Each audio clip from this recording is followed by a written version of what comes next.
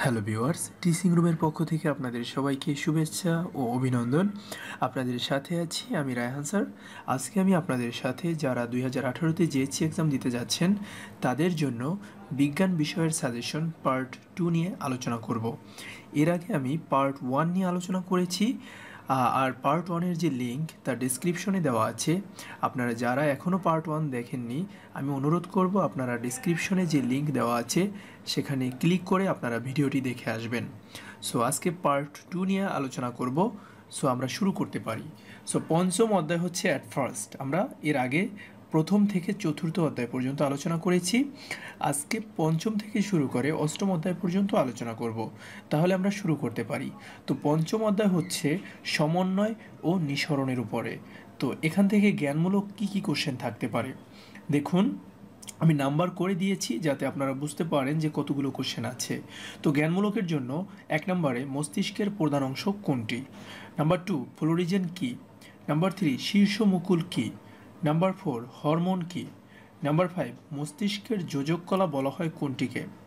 Number six ঘাম কি? Number seven স্নায়ুকোষ বা নিউরন কি? নাম্বার এইট স্নায়ু তারণা কি? আর নাম্বার নাইন নিউরন কাকে বলে? তারপরে নাম্বার টেন প্রতিবর্ত চক্র কি? নাম্বার ইলেভেন ফাইটো হরমোন কি? নাম্বার টুয়েলভ রেচনতন্ত্র কি? নাম্বার থার্টিন মস্তিষ্ক কাকে বলে?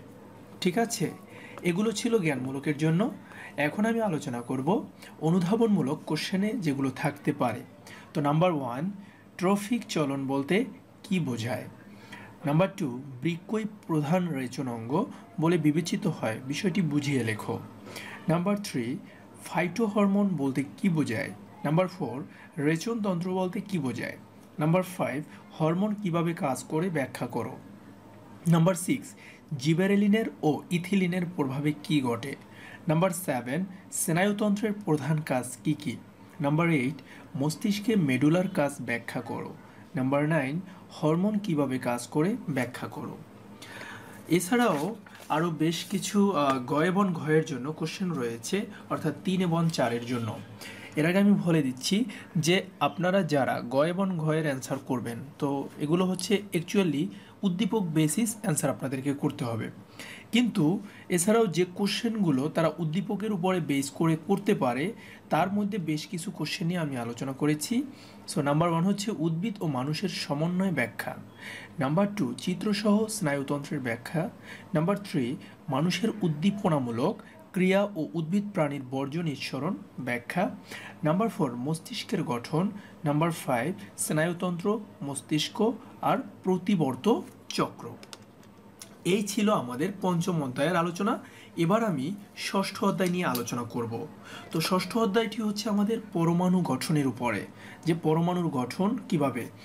তো এখানে জ্ঞানমূলক কোশ্চেন কি থাকতে পারে দেখুন, যে পরমাণু মডেল কি? নাম্বার টু পারমাণবিক সংখ্যা কি? নাম্বার থ্রি সংকেত কাকে বলে? নাম্বার ফোর তেজস্ক্রিয় আইসোটোপ এবং আইসোটোপ কাকে বলে?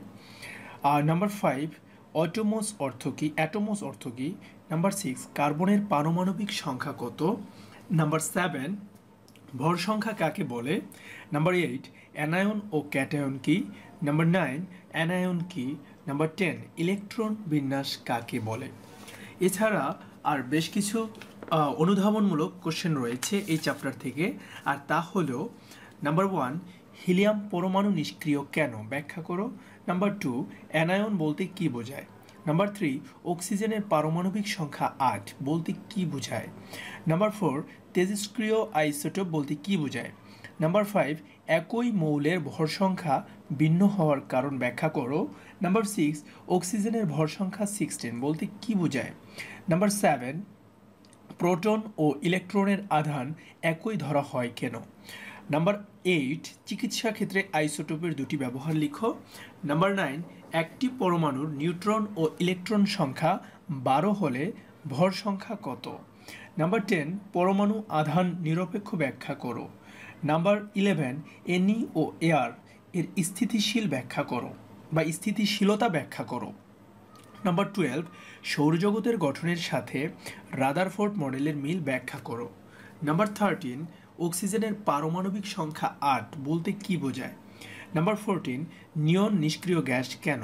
নাম্বার ফিফটিন পরমাণুর নিউক্লিয়াস বলতে কি বোঝায়? এরপরে এই চ্যাপ্টারে যে ঘয় এবং ঘয়ের জন্য যে কোশ্চেনগুলো থাকতে পারে, তা হলো যে নাম্বার ওয়ান পরমাণুর গঠন। নাম্বার টু পারমাণবিক সংখ্যা ও ভর সংখ্যা। নাম্বার থ্রি আইসোটোপের ব্যবহার ও অবদান এবং ইলেকট্রন বিন্যাস। নাম্বার ফোর দুটি মৌলের মধ্যে বন্ধন তৈরির সক্ষমতা। অ্যাকচুয়ালি আপনাদের যে কোশ্চেনগুলো হয়ে থাকে বা কোশ্চেনগুলো হবে, সৃজনশীল কোশ্চেনগুলো, তো উদ্দীপক অ্যাকচুয়ালি আমি যে কোশ্চেনগুলো করেছি, দেখবেন যে উদ্দীপকের উপরে আলোচনার উদ্দীপকের যে আলোচনা থাকবে, সেই আলোচনার উপরে বেসিস করে আপনাকে বলবে এই জাতীয় কোশ্চেনের অ্যান্সার করার জন্য। সো আপনি যদি এই জাতীয় কোশ্চেনের একটু ভালো আইডিয়া নিয়ে যান, আশা করি যে আপনি প্রবলেম ফেস করবেন না এবং ভালো এক্সাম দিতে পারবেন। এবার আমি আলোচনা করব সপ্তম অধ্যায় নিয়ে। আর সপ্তম অধ্যায়ে থাকছে পৃথিবী ও মহাকর্ষ নিয়ে আলোচনা। তো সপ্তম অধ্যায়ে যে জ্ঞানমূলক কোশ্চেনগুলো থাকছে, তা হলো যে অভিকর্ষ স্তরণ কাকে বলে? নাম্বার টু মধ্যাকর্ষণ কে? নাম্বার থ্রি ওজনহীনতা কি? নাম্বার ফোর ওজন কাকে বলে? আর নাম্বার ফাইভ চাঁদ ও পৃথিবীর মধ্যে কোন ধরনের আকর্ষণ কাজ করে? নাম্বার সিক্স মহাকর্ষ কাকে বলে? নাম্বার সেভেন ভর কাকে বলে? নাম্বার এইট ভর ওজন মাপা হয় কি দিয়ে? আর নাম্বার নাইন বিভিন্ন স্থানে জিয়ের মান কত? নাম্বার টেন মহাকর্ষ সূত্রটি লিখো। নাম্বার ইলেভেন মহাকাশ কী? এবার অনুধাবনমূলক কোশ্চেন যেগুলো রয়েছে, সেগুলো নিয়ে আমি আলোচনা করব। তো অনুধাবনমূলক যে কোশ্চেনগুলো থাকতে পারে, তা হলো, ভূপৃষ্ঠের সর্বত্র অভিকর্ষ স্তরণ সমান নয় কেন? নাম্বার টু মহাকর্ষ ও অভিকর্ষের মধ্যে পার্থক্য দেখাও। নাম্বার থ্রি ভূপৃষ্ঠে জিয়ের মান পরিবর্তনশীল, ব্যাখ্যা করো। নাম্বার ফোর মহাকর্ষীয় ধ্রুবক বলতে কি বোঝো? নাম্বার ফাইভ নিউটনের মহাকর্ষ সূত্রটি ব্যাখ্যা করো। নাম্বার সিক্স মহাকর্ষ বল কি কি বিষয়ের উপর নির্ভর করে? নাম্বার সেভেন মহাকর্ষীয় ধ্রুবক বলতে কি বোঝো? নাম্বার এইট অভিকর্ষ স্তরণ কি কি বিষয়ের উপর নির্ভর করে? নাম্বার নাইন চাঁদে বস্তুর ওজন কমে যায় কেন? নাম্বার টেন জিয়ের মান নাইন দশমিক আট মিটার, অর্থাৎ পার সেকেন্ড স্কোয়ার বলতে কি বোঝো? নাম্বার ইলেভেন কোনো বস্তুর ভর ধ্রুব হলেও ওজন ধ্রুব নয় কেন? এরপরে এই চ্যাপ্টারে আরও বেশ কিছু অনুধাবন কোশ্চেন রয়েছে। তা হলো, ভর ও ওজনের মধ্যে পার্থক্য লিখো। আর নাম্বার থার্টিন মহাকর্ষ সূত্রটির বিবৃতি ও ব্যাখ্যা করো। এবার, গ এবং ঘ এর জন্য যে কোশ্চেনগুলো থাকতে পারে, তা হলো অ্যাকচুয়ালি আপনাকে উদ্দীপকের উপরে বেস করে বলতে পারে যে মহাকর্ষ বিষয়ে আপনি ডিটেলস কিছু লিখেন। নেক্সট অভিকর্ষ তারপরে অভিকর্ষ স্তরণ ভর ওজনের পার্থক্য অভিকর্ষ স্তরণের প্রভাবে বস্তুর ওজনের পরিবর্তন বিশ্লেষণ লিফটে ওজনের তারতম্য বা তারতম্যতা, নিউটনের মহাকর্ষ সূত্র, এই জাতীয় কোশ্চেন থাকতে পারে। এবার আমি আলোচনা করব অষ্টম অধ্যায়ের যে জ্ঞানমূলক অনুধাবন এবং প্রয়োগ ও উচ্চতার দক্ষতার যে কোশ্চেনগুলো রয়েছে সেগুলো নিয়ে। তো দেখুন অষ্টম হয়েছে রাসায়নিক বিক্রিয়া, রাসায়নিক যে বিক্রিয়া তার উপরে। তো এখানে জ্ঞানমূলক যে কোশ্চেনগুলো থাকতে পারে তা হলো যে লাইম ওয়াটার কি? সংকেত কাকে বলে? যৌগমূলক কি? ভিনেগারের সংকেত কি? কুইক লাইম কি? তারপরে নেক্সট যে কোশ্চেনগুলো থাকতে পারে সেগুলো হচ্ছে রাসায়নিক বিক্রিয়া কাকে বলে? আর বেশ কিছু সংকেত আসতে পারে। আর তা হলো vinegar, baking powder quick lime calcium phosphate, citric acid নিশাদল and তুতে। আর নেক্সট মোমের দহন কি ধরনের পরিবর্তন? সিইউও এর রাসায়নিক নাম কি? সংযোজন প্রতিস্থাপন ও সংশ্লেষণ বিক্রিয়া কি? তারপরে দ্রবণ কাকে বলে? প্রতীক কি? এবার আমি অনুধাবনমূলক কোশ্চেন নিয়ে আলোচনা করব। আর এর মধ্যে রয়েছে যে মিথাইল অরেঞ্জকে কেন নির্দেশক বলা হয়? নাম্বার টু দহন বিক্রিয়া বলতে কি বোঝায়? Number three N S four plus বা পজিটিভ একটি যৌগমূলক, ব্যাখ্যা করো। Number four N S three acid নয়, ব্যাখ্যা করো। এই চ্যাপ্টারে আরও বেশ কিছু অনুধাবনমূলক কোশ্চেন রয়েছে, আর তা হলো নাম্বার ফাইভ চুনে পানি যোগ করলে কি ঘটে, ব্যাখ্যা করো। নাম্বার সিক্স সকল সংশ্লেষণ বিক্রিয়া, দহন বিক্রিয়া নয় কেন? নাম্বার সেভেন এমজিও একটি ক্ষারক ব্যাখ্যা করো। নাম্বার এইট শুষ্ক কোষকে শুষ্ক কোষ বলা হয় কেন?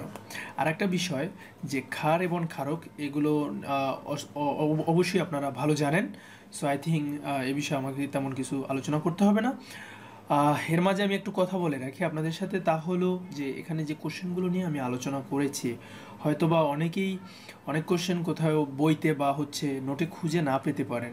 তো যদি কোনো কোশ্চেন খুঁজে পেতে আপনি ব্যর্থ হন সো আমাদেরকে কমেন্টস বক্সে জানালে চলবে।